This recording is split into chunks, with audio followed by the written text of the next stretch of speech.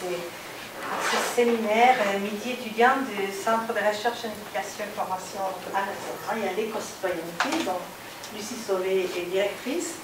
C'est une activité courante de, notre centre parmi les multiples activités de recherche, séminaires, colloques annuels.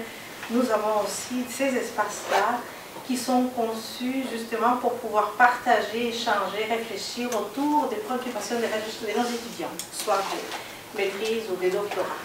Donc euh, c'est une façon de socialiser en fin de compte les préoccupations de recherche, les divers objets de recherche, les méthodologies de recherche, l'expérience des, terrains aussi de nos étudiants, des réflexions qui émergent.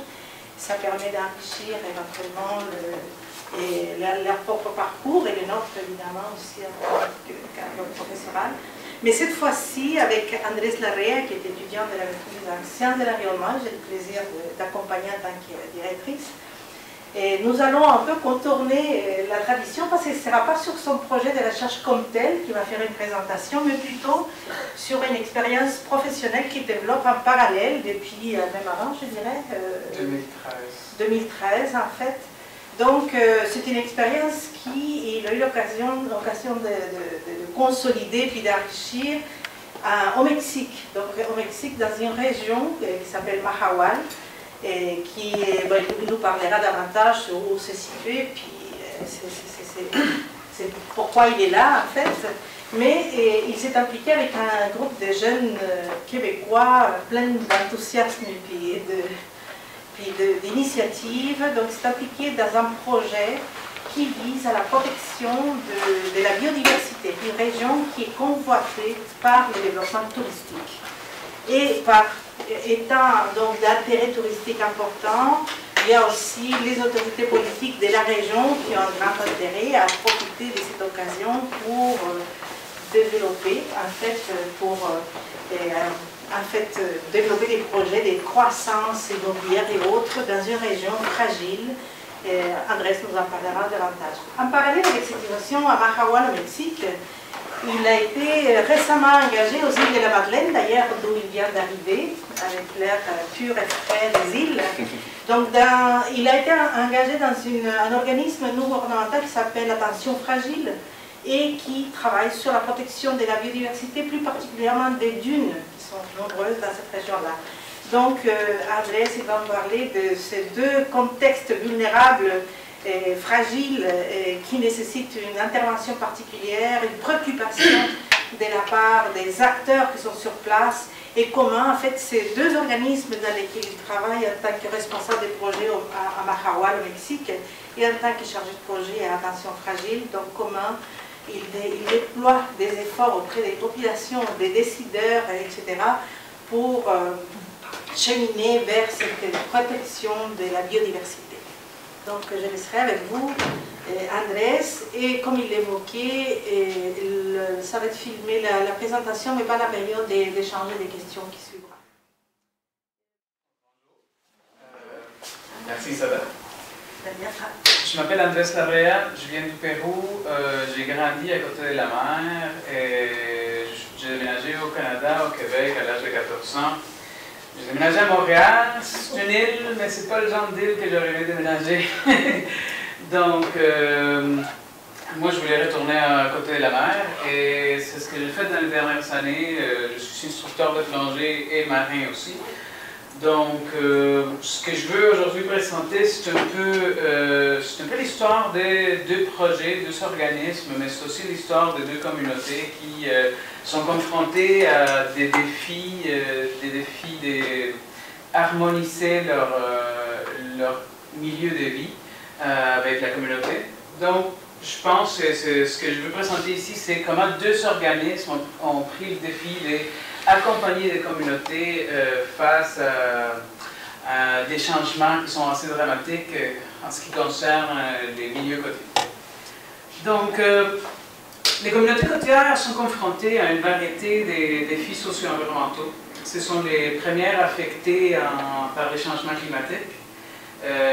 on parle aussi de montée des niveaux des eaux, d'érosion qui est causée par celle-ci, euh, acidification des océans, des événements climatiques extrêmes de plus en plus euh, courants, l'anthropisation des milieux naturels, le développement urbain mal planifié, la détérioration et destruction des habitats, la perte des services écosystémiques, le tourisme de masse et la gestion des matières résiduelles. C'est toutes des problématiques que j'ai vues autant ici au Québec, au Sud-Madeleine, qu'au Mexique, à Mahawal. Donc, pour présenter un peu les organismes,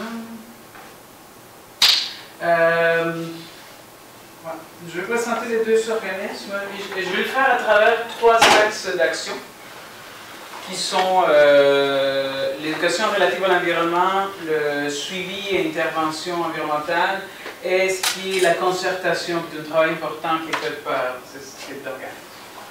Donc, Takata, le centre euh, Takata Experience, c'est un peu un organisme bicéphale. Euh, on est en même temps un centre de plongée sous-marine euh, qui offre des services tels des cours de yoga, des cours d'apnée, mais qui offre aussi tout ce qui est gestion, recherche, intervention en l'environnement de Mahawal, particulièrement pour la conservation des habitats côtiers. L'idée est partie en 2012. C'est un, groupe de quatre amis, c'est des backpackers un peu engagés qui ont décidé de partir un peu un projet dans lequel ils pousseraient l'industrie de la plongée sous-marine à faire plus de ce qu'on fait déjà, euh, qui est poussé dans ce qui est éducation relative à l'environnement et faire un travail qui soit plus conscient de l'environnement dont on dépend comme industrie. Euh, notre équipe de travail, on a des instructeurs de plongée sous-marine, des instructeurs d'apnée, des instructeurs de yoga, mais aussi on a le capitaine matelot, euh, des photographes et des vidéographes, donc des personnes qui se chargent de développer nos, euh, outils et euh, nos matériels de médias. Euh, puis, dans le centre de recherche, on a des gens qui, sont, euh, qui viennent des domaines des sciences de l'environnement, éducation relative à l'environnement, biologie marine euh, et production de documentaires. en même temps, on reçoit, depuis que l'on nos portes, à peu près il y a deux ans et demi, on reçoit des étudiants, des stagiaires de différentes universités, particulièrement des universités du Québec, l'Université de Sherbrooke, nous envoie beaucoup de stagiaires, il y a aussi des étudiants des universités françaises qui ont commencé à faire la maîtrise. Et on a eu beaucoup aussi des étudiants des universités latino-américaines, notamment du Chili, vu qu'on a beaucoup de nos instructeurs de plongée sous-marine qui viennent du Chili. Euh, l'idée, la mission, c'est protéger les écosystèmes côtiers à travers la sensibilisation de la communauté, la recherche scientifique en environnement ainsi que la conservation. Notre mission, c'est assurer l'avenir de nos océans en créant une communauté durable, une population ayant une conscience environnementale. Euh,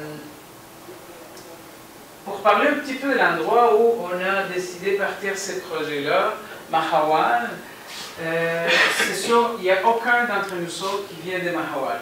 Nous autres, on, est des gens qui viennent de, euh, de Chili, moi je viens du Pérou, il y a beaucoup de Québécois mais euh, qu'on travaillait depuis ça fait longtemps dans l'industrie de la plongée sous-marine. Donc on avait travaillé, on avait beaucoup d'expérience à travailler dans les Caraïbes, puis on avait vu les problématiques qui sont causées par euh, des récifs qui sont utilisés pour l'industrie du tourisme, mais qui sont mal gérés. Et on voulait, euh, on savait qu'en tant que personne, en tant que plongeur, on a un accès privilégié aux outils nécessaires pour se rendre sur le récif, puis on a l'accès privilégié à amener les, clients, amener les étudiants à voir directement un environnement qui, est rarement vu et rarement vécu euh, autrement. Donc, on, voulait utiliser ça pour euh, avoir un impact positif. Et Mahawal, c'est devenu notre destination de choix parce que c'est une ce petit village, il est en plein euh, développement, il n'est pas encore à une taille où euh, les écosystèmes sont euh, vraiment menacés, mais on est à un moment où l'industrie du tourisme est en train de se développer, donc on se dit que c'est un bon moment pour commencer à concerter les gens qui y habitent et faire notre recherche de façon à éviter que les développements éventuels euh, finissent par euh, avoir des impacts considérables. Donc, Mahawal, C'est un village de pêcheurs euh, traditionnel, donc traditionnellement un village de pêcheurs, mais qui avait une très petite population et qui a commencé à se développer de façon touristique autour des fins des années 90. Donc, euh, il y a un développement d'infrastructures touristiques qui s'est fait assez rapidement. En fait, c'est avec l'apparition du quai des croisières qu'on commence à voir euh, euh, toute cette partie-là de la ville qui se développe et un développement vers le sud. Et en même temps, vu qu'il y a une économie du tourisme qui commence à apparaître, il y a l'immigration nationale du Mexique qui arrive à Mahual pour profiter de l'industrie du tourisme et des dollars des gringos. Euh, on parle de 1500 à 2000 habitants, euh, mais avec une population flottante, une population qui est saisonnière, qui est quand même importante, qui peut arriver à être autour de 1000 personnes. Donc, euh, dépendant du moment de l'année, tu peux avoir 1500 à à peu près 3000 personnes. Euh, le tourisme qui se développe récemment, euh, en fait, c'est surtout des backpackers, de la plongée sous-marine, du tourisme national, donc beaucoup de Mexicains qui, au lieu d'aller à des endroits qui sont devenus plus chers, comme Playa del Carmen, qui se trouve par ici, ou Cancun qui se trouve là, vont venir à Mahahual parce que c'est vu un peu comme un village qui n'est pas encore découvert en termes touristiques. Et c'est aussi une ville très récente, ça fait... Euh, les gens, ça a commencé à se peupler vraiment à partir d'il y a 20 ans, donc il y a très peu de gens qui y habitent, qui, qui y sont depuis plus de 20 ans. Et euh, ce qui, est, a vraiment fait exploser le, tourisme à Mahahual, c'est les bateaux de croisière. En fait, euh, on parle d'une ville de 2000 habitants. En une seule journée, on peut avoir jusqu'à 12 000 croisiéristes qui euh, débarquent à Mahahual. Donc, euh, l'infrastructure de la ville est complètement débordée. En ce qui concerne autant service que gestion de matières résiduelles. pour vous donner des chiffres, en un seul mois, en saison haute, en janvier 2017, on, a, été visité par 40 bateaux de croisière, ce qui implique 111 300 touristes. Et la même date, mois de janvier en 2018, on parle de 54 bateaux de croisière euh, à 152 000 personnes qui nous sont visitées en un seul mois. Euh, on voit une augmentation rapide justement parce qu'avec les changements climatiques, on voit euh, de plus en plus de, tempêtes qui ont détruit d'autres ports ailleurs dans le Caraïbe. Et donc, à mesure que les ports sont détruits, ben, il y a plus de, euh, plus dans notre port. Et ce qui arrive en ce moment, c'est qu'ils sont en train de construire l'espace pour encore deux bateaux. On a, en ce moment, on peut accueillir trois bateaux de croisière mais euh, les plans du port, c'est éventuellement arriver jusqu'à 8 bateaux de croisière.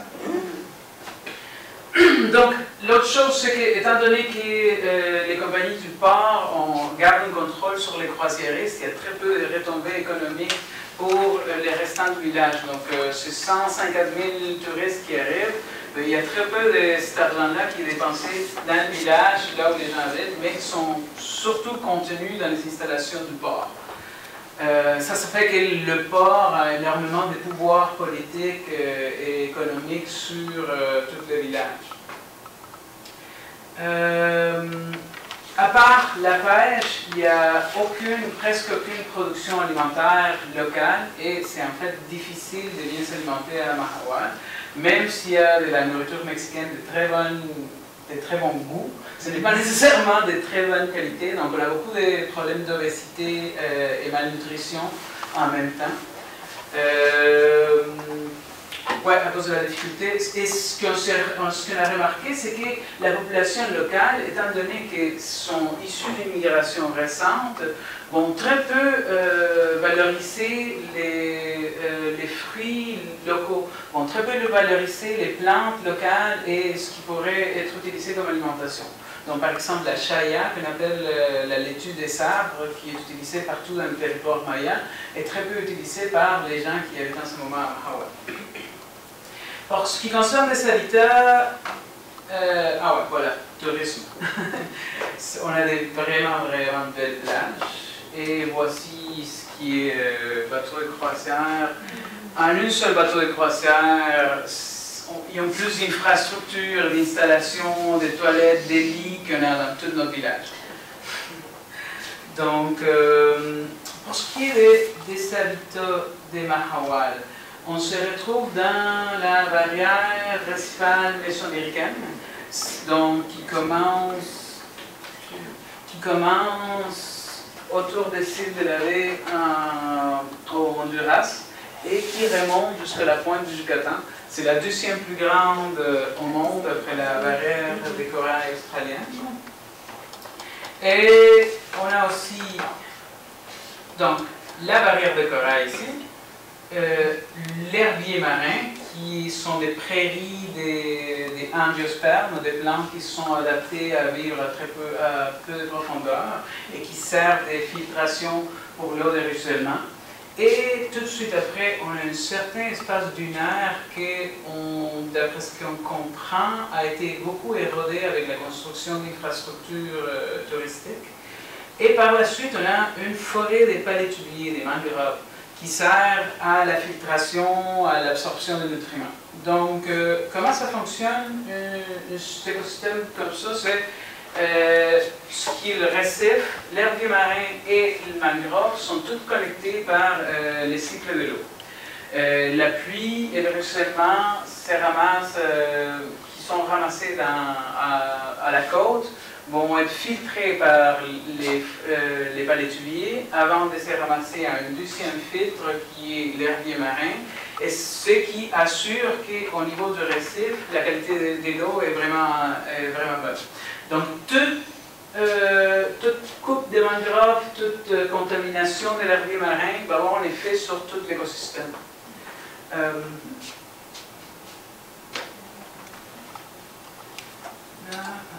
pour vous donner une idée comment ça marche.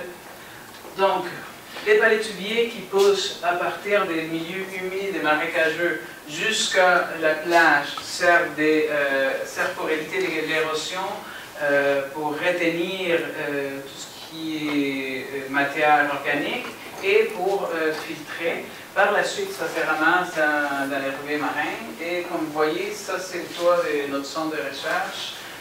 c'est vraiment une forêt palétuvier qu'on trouve derrière nous qui est en fait en perte parce qu'à mesure que les, que les infrastructures routières ont été construites, les, les connexions entre les différents milieux humides sont, sont, affectées et ça empêche le passage de l'eau naturelle, ce qui implique que certaines sondes qui sont coupées du, système euh, hydrologique vont finir par se dessécher, tuant tout ce qui se trouve à l'intérieur, donc toute euh, la végétation qui se trouve à l'intérieur.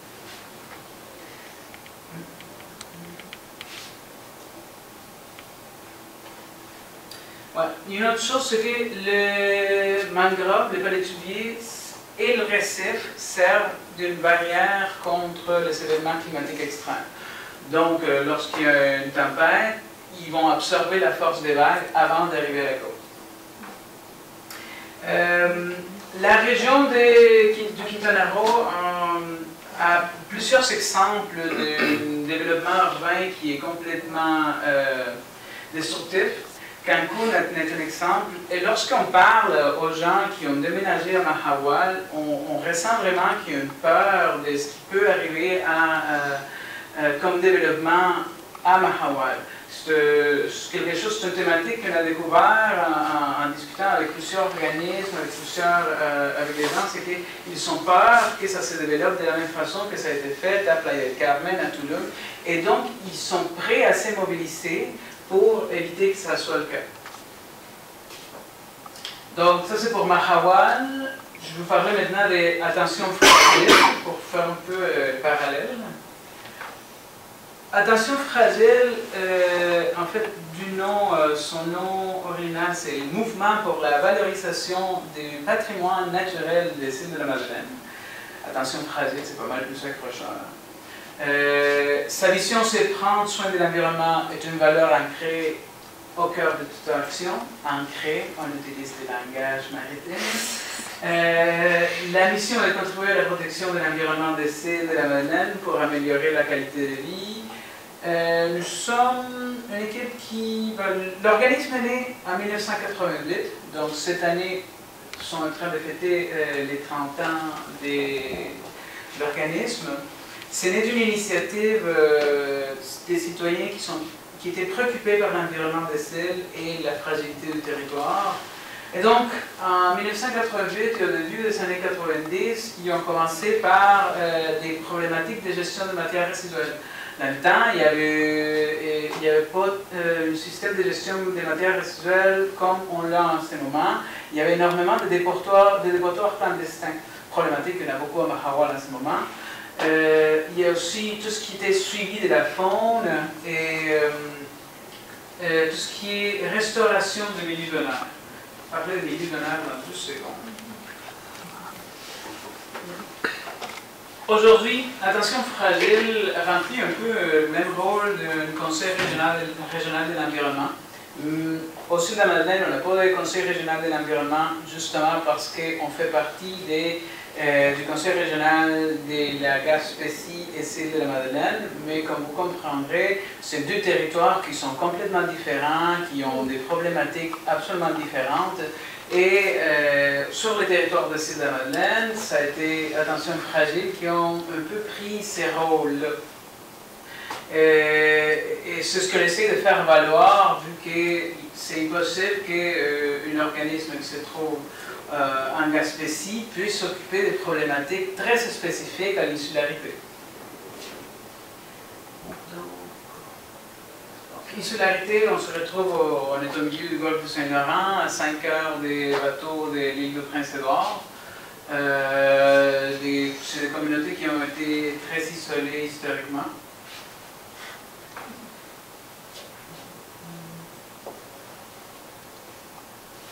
Ah ouais, puis pour ce qui est de notre équipe de travail, attention fragile, euh, c'est très interdisciplinaire, c'est très varié. On a des gens qui sont des journaliers qui vont travailler en ce qui est la construction d'infrastructures pour accès aux plages. Il y a des gens qui vont, euh, qui vont être des techniciens qui vont faire le suivi des, euh, des différentes espèces.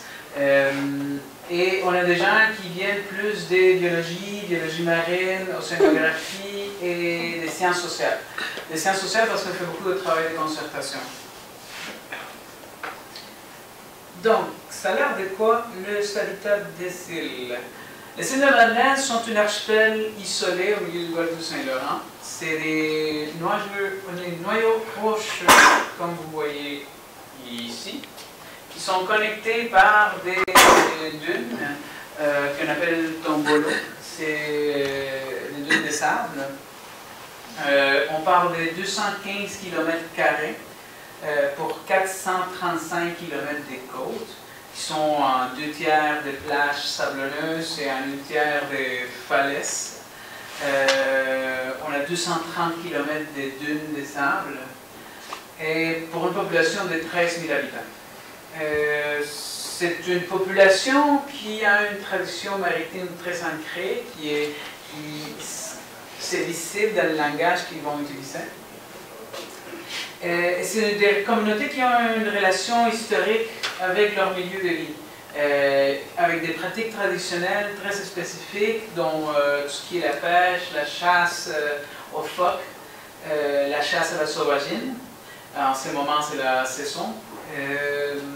La collecte des petits fruits, la collecte des mollusques, des échinodermes, et aussi une production locale d'une variété de produits de terroir qui sont consommés euh, majoritairement localement. Donc, euh, insularité oblige, on, on, a des circuits assez courts de, production alimentaire euh, et de très très bonne qualité.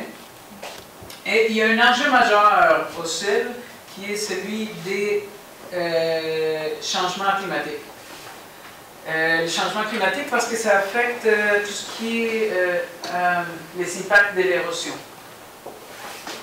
Donc, pour ce qui est des habitats de on a des collines, des buttes rocheuses qui sont connectées, comme je vous ai dit, par des dunes de sable, qu'on appelle des tombolos.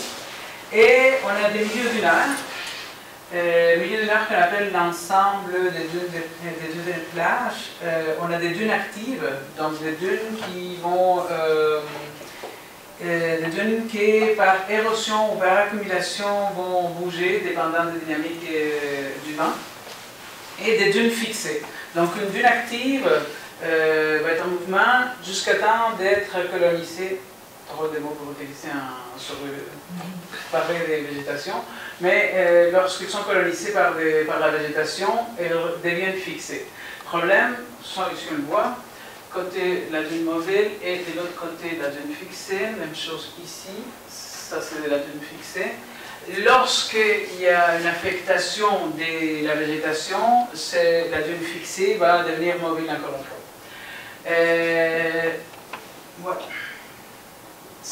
Les dunes aussi vont servir à protéger euh, tous les, les, sons intérieurs de, de ces donc, tout ce qui est milieu, milieu humide, euh, lagunes, sont protégées de l'eau salée qui entoure les sels par euh, cette dune bordière qui va faire le tour de, des sels. Donc, c'est vraiment important de garder les milieux dunaires en santé parce que toute affectation du milieu dunaire s'est traduite par une affectation des, euh, des sources d'eau au sol. ça arrive que par un événement climatique, par une tempête, on va avoir de, de l'eau salée qui va rentrer dans les sources d'eau et parfois les sources d'eau doivent être complètement euh, euh, non, je dirais annulées.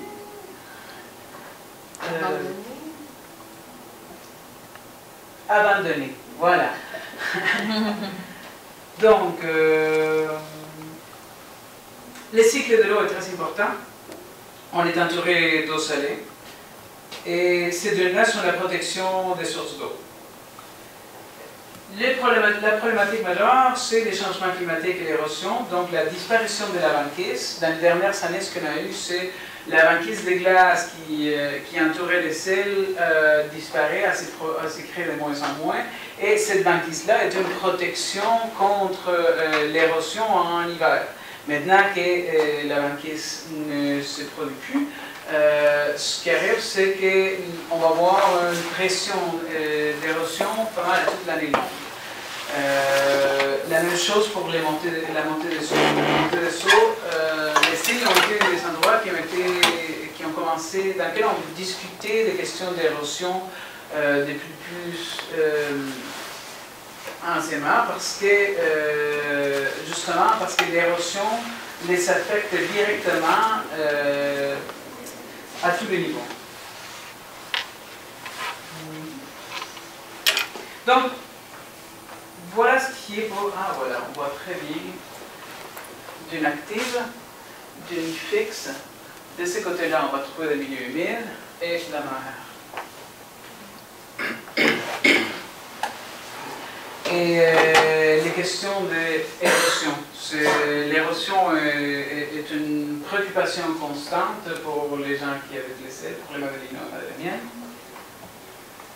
Donc, les organismes, c'est quoi les actions? Je vais parler de trois axes, euh, axes d'activité principaux euh, qui sont présents autant au sud de Madeleine qu'à Mahawal. Premier axe, euh, les suivis et l'intervention. Euh, qu'est-ce, que ça implique? Ça implique la collecte, l'analyse et la diffusion d'informations sur les habitats, leur état de conservation et les populations d'espèces qui y habitent. Par exemple, chez Attention Fragile, l'une des premières activités qui a, euh, été euh, adoptée par l'organisme, c'était le suivi euh, des espèces en péril, dont les pluviers siffleurs et les grèves esclavons mais aussi d'espèces végétales telles la star du golfe du Saint-Laurent. Chez Takata, oh, on fait la même chose, sauf qu'au lieu de. Euh, sauf qu'on va faire le suivi du, euh, du coraux, des coraux, du récif de corail, pour ce qui est maladie, perte, blanchissement, et ce qu'on s'est rendu compte, c'est que la meilleure façon, lorsque tu travailles avec des écosystèmes qui sont euh, interconnectés de cette façon, si tu veux centraliser toute l'information, la meilleure forme de le faire, c'est avec de la cartographie et des systèmes informatiques de géographie. Donc, euh, très tôt, quand on est arrivé à Mahawal, on a commencé à faire une cartographie par satellite et par la suite rajouter des informations qu'on collectait au fur et à mesure qu'on comprenait les dynamiques du récit. Euh, en ce moment, on a déjà cartographié une douzaine de kilomètres qui se trouvent devant Mahawal. Et cette année, je vais avoir euh, des étudiants, euh, des stagiaires au niveau cégep en bioécologie du cégep Saint-Laurent et euh, en cartographie pour qu'on se lance sur ce qui est la cartographie des derniers marins qui est ici. On a des images plus ou moins, mais ça dépend, de, la date à laquelle ils sont prises parce qu'il y a un certain mouvement avec l'herbier marin. Donc pour faire un suivi, ce que je vais faire, c'est envoyer les étudiants nager beaucoup pour faire la caractérisation. Euh, et cette année, on, pensait aussi se lancer dans ce qui était la caractérisation euh, de la forêt palétuvier avec des drones. On pensait faire l'allocation d'un drone euh, avec vision infrarouge pour nous permettre de voir le, taux de perte de végétation qu'on est en train de, vivre à il y a aussi la collecte d'informations sociale. Les communautés qui habitent les milieux de vie, il faut comprendre, faut les comprendre, il faut connaître leur histoire, il faut euh, aller voir les gens, leur demander sur euh, leur propre impression sur les changements qui, qui, ont eu lieu à Mahawal, surtout les rares personnes qui, ont, qui sont là euh, depuis ça fait longtemps. Et on fait beaucoup de cartographie participative aussi. Euh, donc, euh, on invite les gens, par exemple, le centre, groupe, euh, le des sous-marines, à nous donner le positionnement des sites qu'ils vont visiter le plus souvent. Et à partir de cette information-là, ça nous permet de faire une carte de pression anthropique sur notre site. Pour ce qui est des... Ah, voilà. Euh, la cartographie du récif se fait aussi euh, avec des plongées, des plongées cartographiques. On amène une GPS avec nous qui nous permet de euh, faire un tracé GPS à mesure qu'on plonge. c'est tous des outils qui sont de moins en moins chers, qui sont de plus en plus accessibles et qui te permettent de travailler avec la communauté et de donner des outils à tous les, gens qui, viennent faire la collecte de données. Par exemple, on a fait la cartographie une année, deuxième année, on a fait deux années de cartographie, et à la troisième année, ce qu'on avait, c'était une carte, une carte euh, sur le cellulaire. Donc, si j'ai des stagiaires qui doivent aller faire la prise de données sur les recettes, bien sûr, ils peuvent sortir leur cellulaire et savoir avoir la cartographie satellite qu'on a travaillé directement sur leur cellulaire pour la collecte de données. Et même qu'on on leur a créé... Euh, des, méthodes de collecte d'informations dans lesquelles ils peuvent prendre l'information directement sur leur euh, cellulaire. Par exemple, pour ce qui est euh, la localisation des nids de tortues. Euh, cette année, on va commencer à faire la conservation des tortues, donc c'était important, à partir de la saison passée, la saison de ponte passée, de commencer à avoir une idée où se trouvaient ces nids-là, où pendaient les tortues, quelles espèces de tortues, et quelles étaient les pressions anthropiques sur ces nids-là avec, des, euh, des, systèmes d'information géographique, ça te permet de centraliser tout ce genre d'informations-là. Donc, Attention Fragile fait un travail très similaire. Euh, dernièrement, j'étais en train de dénicher dans leurs archives les cartographies de tout ce qui est euh, la restauration des dunes. Et ça a été commencé en 1990. Il y a certaines zones au sud de la Madeleine où on avait perdu complètement la dune et il y avait un accès, euh, ce qu'on appelle un goulet, l'entrée d'eau salée euh, vers les, euh, les sons intérieurs. Et donc, à cette époque-là, en 1990, Attention Fragile a commencé à faire tout ce qui est la dune de la Cormorandière.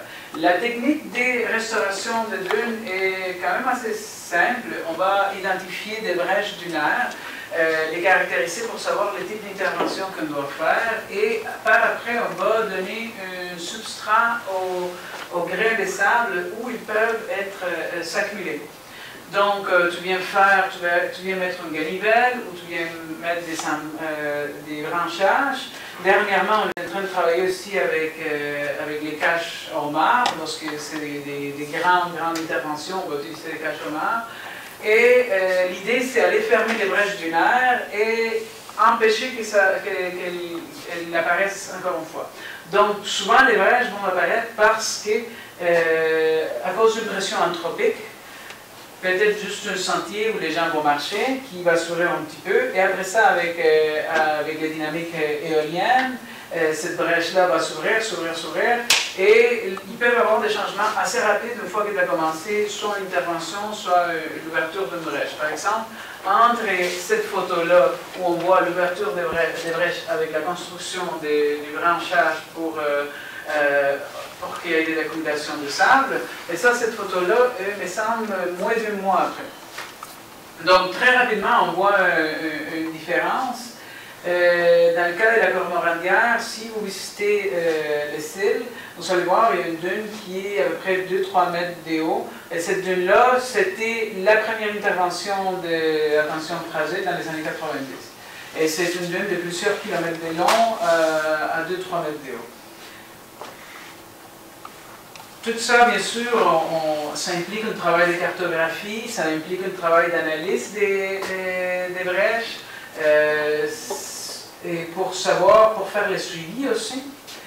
Euh, lorsque l'accumulation des sables est faite, ce qu'on va faire, c'est euh, replanter, euh, dans ce cas-là, de la mophile à l'huile courte, pour qui est une, plante colonisatrice qui permet de fixer cette dune-là pour éviter que l'érosion vienne, vienne, vienne s'éroder. Donc, ça, c'est un type d'intervention qui va, changer euh, l'habitat. Euh, c'est une, intervention de euh, restauration de l'habitat. À Mahawal, à partir de cette année, on commence à partir d'un projet similaire, mais cette fois-ci sous l'eau. On va faire la restauration des récifs. La technique est, un peu similaire, je dirais. C'est la création de substrats et la restauration d'habitats pour euh, faciliter la vie aux autres espèces. Ce qu'on fait avec les coraux, c'est qu'on va soit aller prélever des petits morceaux de colonies de coraux. Je ne sais pas si vous connaissez un peu la biologie des coraux. On, va commencer avec la biologie. Euh, les coraux sont des, euh, sont des animaux qui sont un. c'est des coraux qui vont déposer du calcaire euh, grâce à, euh, une... Euh, bref, les coraux, c'est des, animaux qui vont déposer du calcaire, et ces calcaires-là, c'est les substrats du récif. Et étant donné que c'est des colonies, des clones, ce qu'on peut aller faire, c'est couper un morceau de, corail, prélever ou sinon ramasser des morceaux de coraux lorsque ceci se lors d'un événement climatique et ces coraux-là, les amène à un endroit sécuritaire du récif où on, a des techniciens qui vont commencer à faire les suivis. Les suivis pour euh, qu'ils arrivent à une certaine taille. Rendu à cette taille-là, on peut casser encore une fois les corails et les cloner encore une fois, et ainsi de suite, euh, pour par la suite aller les replanter sur le récif. Ce qui accélère euh, rapidement la, la restauration des récifs et vu qu'avec un seul euh, individu, tu peux multiplier l'économie. C'est sûr qu'il y a des problèmes de suivi génétique. Euh, lorsque tu, remplis ton récif des, des clones, mais tu n'auras pas le même niveau de biodiversité que si tu étais euh, en train de faire la reproduction sexuelle des, des coraux. Donc, c'est un de nos objectifs à plus long terme, commencer à pouvoir euh, prélever euh, les gamètes pour euh, faire la reproduction en laboratoire. Mais pour le moment, ce qu'on commence cette année, c'est vraiment la technique des jardinages des, des récifs.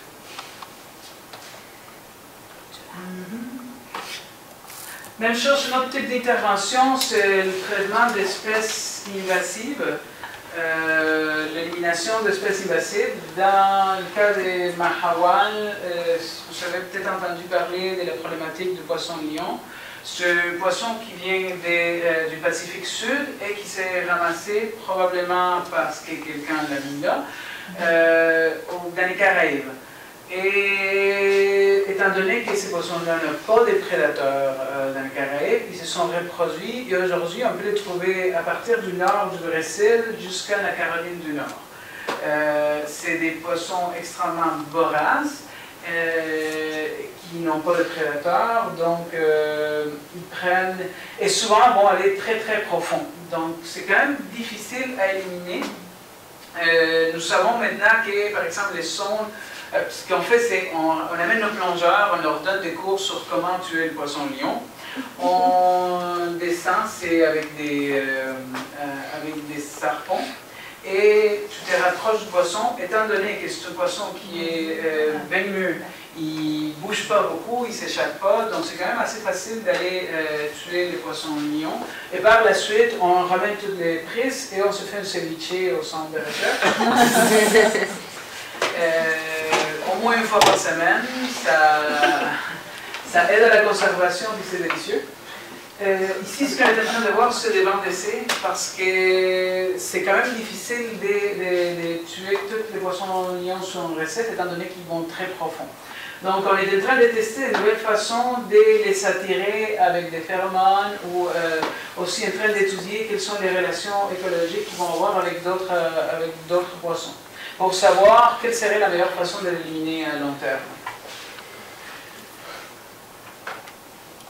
Ah, même chose. Euh, une autre question d'intervention qui est faite beaucoup au sud de Madeleine, c'est la construction d'infrastructures. Étant donné a un problème des brèches dunaires, parce que les gens euh, vont multiplier les sentiers, euh, ce que nous avons fait, c'est des infrastructures d'accès aux plages et euh, des infrastructures d'interprétation permettant de dire euh, aux gens par où passer, par où ne pas passer, et donner des informations. Euh, si vous visitez, les sites, vous allez voir, ces genre d'infrastructures en bois sont un peu partout dans les plages touristiques.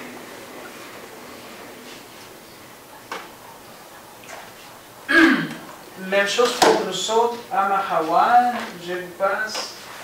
Notre projet d'infrastructure, dans, la dernière année, on nous a annoncé que le gouvernement du Quintana Roo euh, voulait changer le plan de développement urbain des, des. Et le plan de développement urbain qui était proposé impliquait des coupes importantes euh, du développement touristique au niveau de la forêt de. Donc ce qu'on a fait, c'est on a fait des matériaux euh, audiovisuels pour permettre aux gens d'être informés par rapport à, ce qui s'est tramé. Et on a fait une mobilisation de la population qui a fini par, euh, le gouvernement a décidé de mettre en consultation le plan de développement urbain. Suite à quoi nous avons préparé notre propre plan de développement urbain. Euh, qui est fait d'une façon différente. La problématique avec le développement urbain, je vais mettre une petite vidéo, euh, au Quintana Roo est une question de développement concentrique. Donc, euh, c'est une question de développement concentrique. Ça, c'est Playa del Carmen.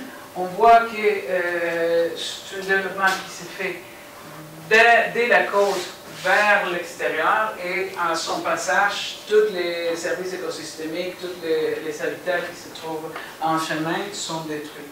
Donc ce que nous sommes on a proposé au gouvernement, c'est de travailler non pas de façon concentrique, mais euh, de faire de différentes communautés, euh, faire différentes capsules urbaines.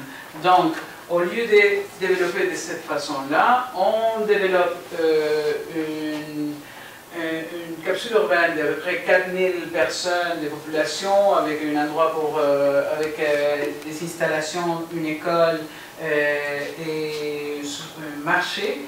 Et lorsque ça s'est fait, on a construit le deuxième et on connecte les deux avec des passages piétonniers et une seule ligne, de façon à, lorsque on va avoir plusieurs centres urbains, on peut connecter tous ces centres-là et on, ça nous permet de protéger non seulement une zone de la côte, mais aussi des zones au milieu de, la ville.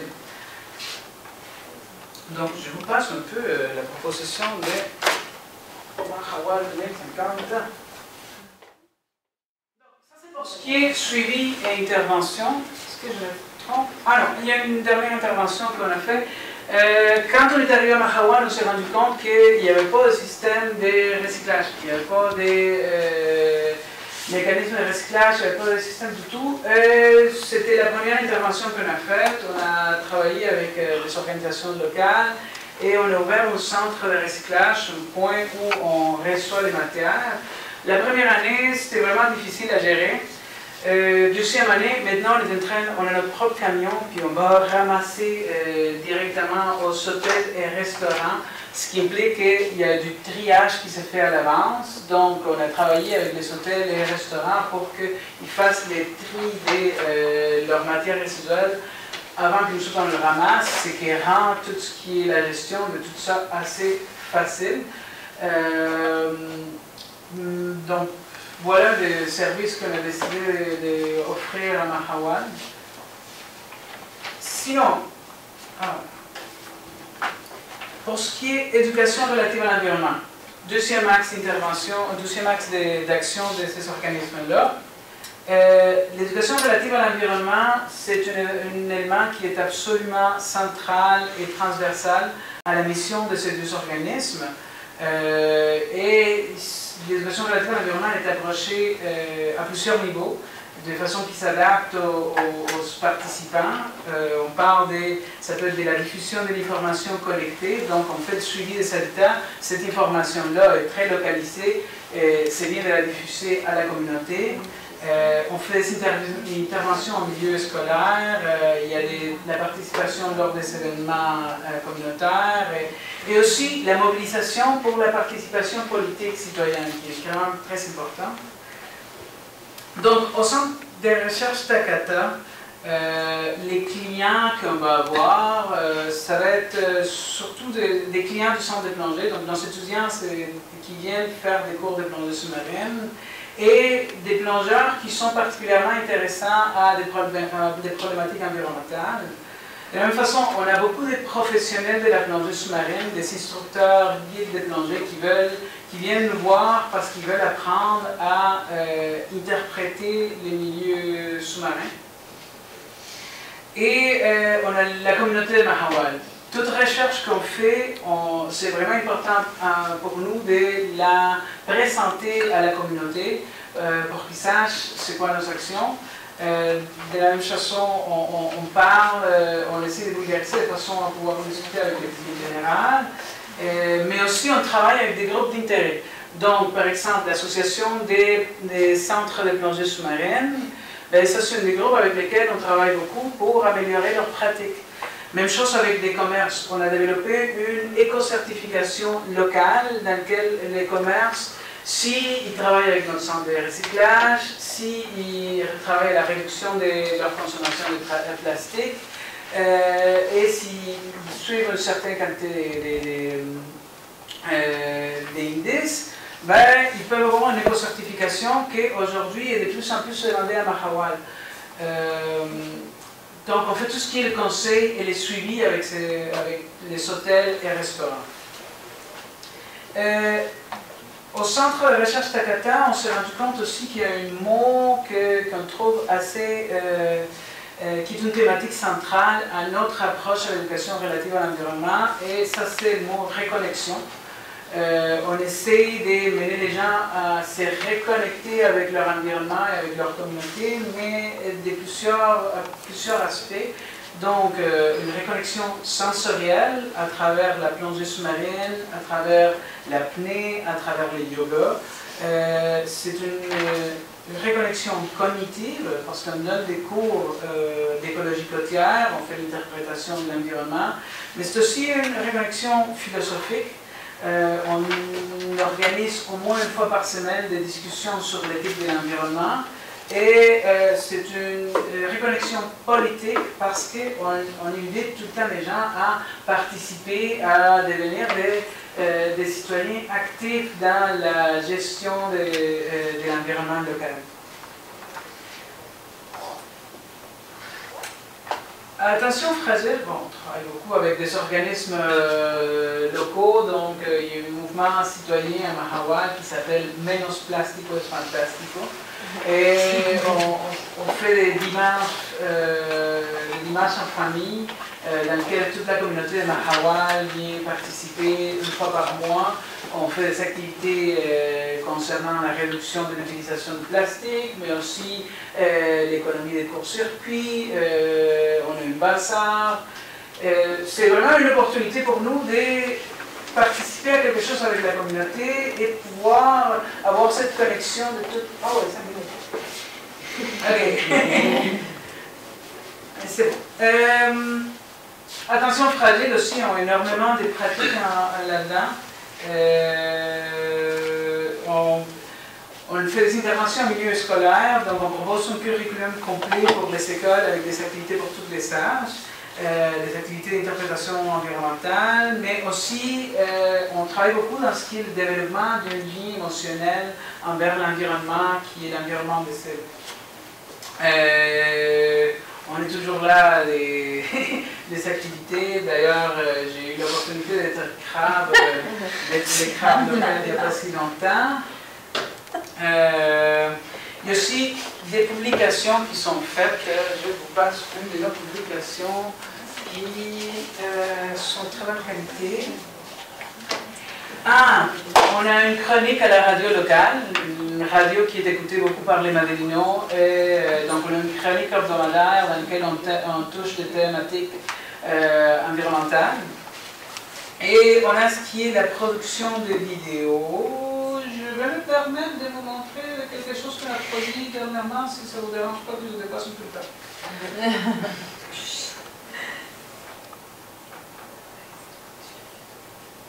Donc ça, c'était produit dans le cadre des... Euh, c'était produit dans le cadre de euh, la consultation du BAP euh, par rapport à la réserve écologique des Librions.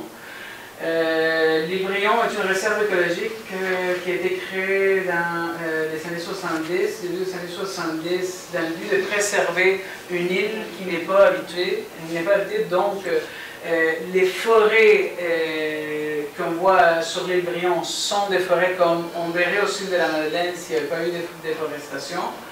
Et euh, ça a été euh, colonisé par une, euh, colonie de phoques gris. le problème aujourd'hui avec Brion, c'est que le gouvernement lui a donné les statuts les plus élevés des réserves qu'il peut donner au niveau provincial, mais ça n'est pas occupé par, par la suite. Il n'y a pas eu d'investissement, toutes les infrastructures sont sont détruites et aujourd'hui la communauté des, des de Madeleine, les communautés de la Madeleine demandent le droit d'aller chasser les phoques euh, étant donné que la colonie des phoques gris a explosé à cet endroit-là, on parle de peut-être 5-7 000 individus. Donc voilà, dans le dernier mois, on a eu euh, une consultation publique par rapport à l'ouverture de la chasse ou euh, une modification du statut de la réserve écologique.